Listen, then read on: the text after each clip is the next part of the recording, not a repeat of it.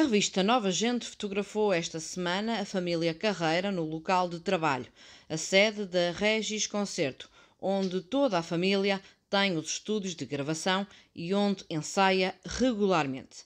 Aparentemente, as fotografias foram tiradas por paparazzis, dada a distância e, por consequente, baixa de qualidade destas, terem sido todas tiradas no exterior, mas também porque não é fácil imaginar que a última coisa que Tony Carreira haveria de querer agora seria uma sessão de fotografias.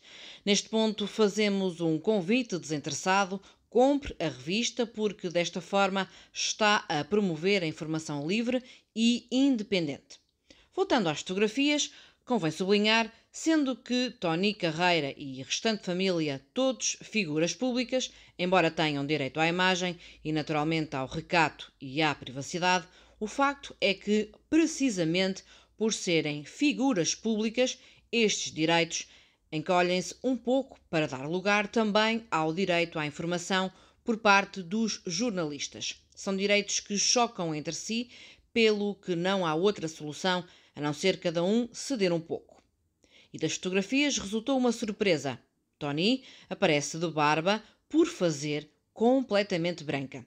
É sabido por todos o quanto o cantor se preocupava com a imagem e antes da morte de Sara nunca ninguém o tinha visto com barba. A barba faz os homens mais velhos, coisa que, como se sabe, nem Tony nem ninguém quer ser ou parecer. Mas não é só a barba que impressiona na imagem de Tony, foi também o seu ar abatido e triste. O cantor esteve no exterior das instalações durante algum tempo, mas o seu ar cabisbaixo foi o que mais chamou a atenção.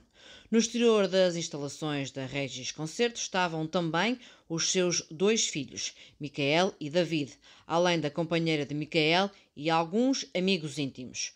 O ambiente era de alguma consternação e houve mesmo um momento em que se vê Micael ir-se abaixo, ao que logo recebeu o apoio de Laura. A terminar, registre-se a ausência de Fernanda Antunes, mãe de Sara e ex-mulher de Tony, que tanto quanto se apurou, desde dezembro deixou de ocupar o cargo que tinha na Regis Concerto.